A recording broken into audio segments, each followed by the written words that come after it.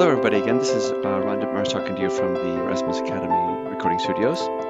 And uh, we have as our guest today um, Chad. Chad, you want to say hello? Hello, Ron. How are you? Great. How are you doing? So, um, all right. So this is the last uh, segment in a series on the, on the some of the notes on the biography and the background, historical background of, of the life of Johann Sebastian Bach. And you see here in the, in the picture which you may have seen in the earlier segments, of the Thomaskirche um, in the historical period of, of his life, um, and the Bach Archive, uh, which is the museum, is actually on this side. So this church is still uh, maintained, still uh, visible, and you can go in, and they perform uh, cantatas there every Sunday. Uh, and also the Nikolai Church is the second most important one, where he composed a lot of his works as well, which is also about a 10, 10 minute uh, walk away from this church in in Leipzig, which is in the former East Germany, um, DDR, uh, and is now a thriving city. Okay, so we have uh, just a small section for the concluding segment here, which is um, which we'll see here in a second. Um, Keep it so, short on Friday. Good idea. that's right, right on Friday. Uh, just one second here. Okay, so here we are, um, and um, this is the uh, last section we're just going to cover from here down to this point. Can you see my marks there, um, Chad? Yes. Okay, let's let's read some. And as, as I read, uh, Chad will repeat after me. Please read with him, and then I'll ask him questions and try to imagine in your mind uh, what the uh, answers are. Here we go. Das Leipziger Wohnhaus der Familie Bach. Everybody. Das Leipziger Wohnhaus der Familie Bach ist nicht erhalten. Ist nicht erhalten. Where's the verb? It would be ist. Yeah, ist, and then uh, actually erhalten is a predicate adjective, which actually completes the verb complex. So we'll include that in that. In that okay. is maintained is not maintained literally.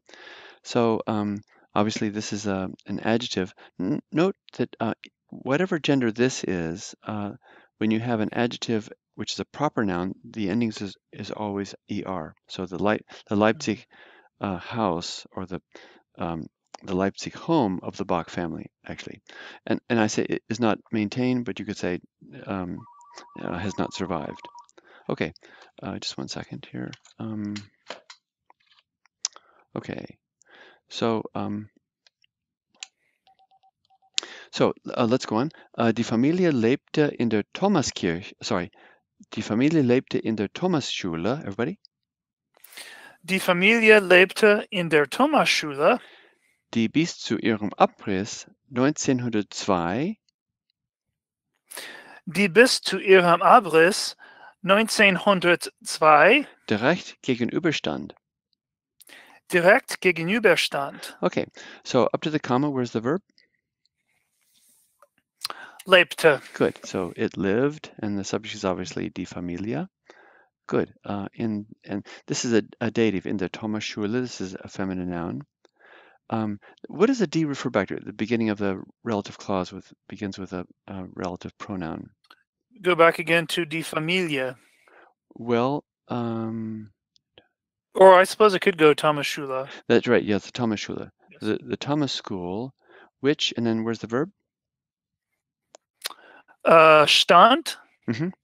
And stand. It so which stood uh, up up to its when it was taken down bis zu ihrem Abriss in 1902, it stood directly over against or uh, over um, uh, um, on the on the opposite side of the actually the um, the archive museum is what it means. Okay, uh, you want to do that that first two sentences just uh, together slowly? Sure. Uh, the Leipzig home of the Bach family has not survived. Mm-hmm. Uh, the family lived in the Tom- Thomasschule, uh, which stood directly opposite, I guess, from the museum, um, until it was taken down. Mm-hmm. In 1902. Or until its takedown. ja, ja, okay, going on. Im heutigen Bach-Museum wohnte damals die Kaufmannsfamilie Bose. Im heutigen Bach-Museum wohnte damals die Kaufmannsfamilie Bose. Okay, where's the verb? Uh, it's wohnte. Mm, good. And subject is?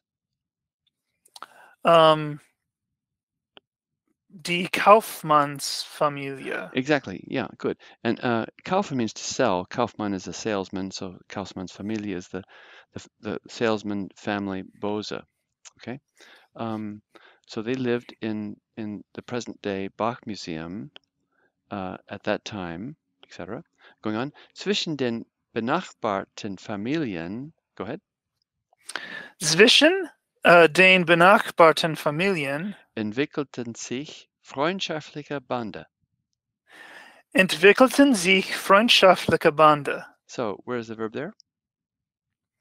Uh, it's entwickelten, but also the sich. Good. Always include the reflexive pronoun in identifying the the uh, verb complex.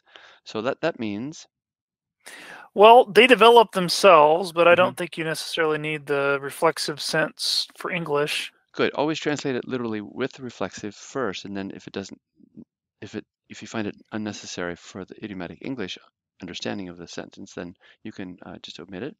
So, um, and the subject is Um, it's Banda. Good. So these ties, these fr- friendly ties. So notice that when you start the sentence with a preposition, then you can't find any parts of the of the core sentence there. So between the neighboring families, just translate, translate that last part. Uh, between the neighboring families, uh, I guess you could say friendly ties developed. Exactly. Good. All right. Well, thanks so much for tuning in for our series on on uh, Johann Sebastian Bach, and uh, uh, thank you, Chad, for for helping out so much, and and um, you really um, helped in in understanding how to put these sentences together. So thanks My for tuning in. yeah. Uh, thanks for tuning in, and talk to you later. Thanks a lot. Bye bye.